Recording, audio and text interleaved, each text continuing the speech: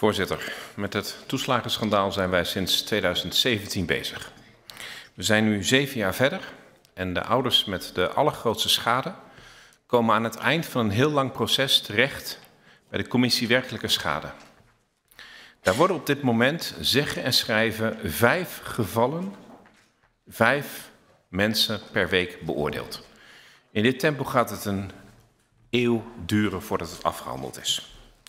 Maar wat zegt nu de teamleider van de commissie werkelijke schade?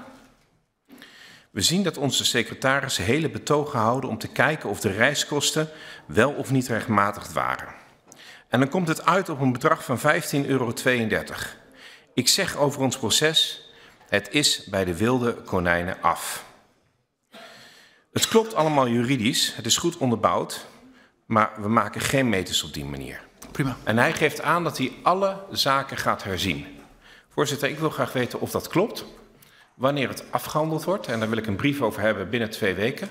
En ik zou hier graag voor half juni een debat over willen hebben met de staatssecretaris en zo mogelijk de minister-president, omdat dit zijn eigen dossier is. Ik ga kijken of daar een meerderheid voor bestaat. Heer Dijk van de SP. Voorzitter, ik zei een uh, interruptiedebatje tijdens uh, de tweede ronde over de informatie. Uh, over informatie had ik het ook al met de heer Omzicht over. Toen was er een commissiedebat geweest. Ik ben daar eerlijk gezegd echt van geschrokken.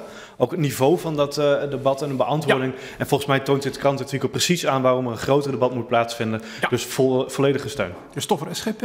Steun. De Stultjens GroenLinks PvdA. Ook steun. De Krul. Van harte steun. Mevrouw van der Werf. Geen steun. Kaminga. Ja, voorzitter, toch nog even een kleine nuance, want ik ben het helemaal eens. We hebben hier een debat ook over gehad dat de tempo natuurlijk te traag is. De staatssecretaris heeft het ook gezegd. De commissie uh, werkelijke schade komt ook met een plan van aanpak. Dus ik zou het wel logisch vinden dat we dat even afwachten en die brief voor we dan kijken uh, of een plenair debat nodig is. En dus? Voor nu geen steun. Dat dacht ik al een beetje. De heer Mulder. Ja, ik juist wel steun op voorwaarde dat dat uh, plan van de commissie werkelijke schade er is. Dat kunnen we meenemen in het debat. Steun. Kostic.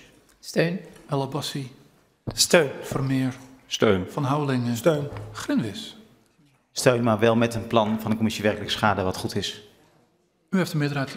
Meneer Voorzitter, dan uh, verzoek ik om dat uh, plan van aanpak van de commissie werkelijke schade hier eind mei te hebben, zodat we voor half uur het debat kunnen hebben en met de twee genoemde winstpersonen. Dank u wel. Ja, prima.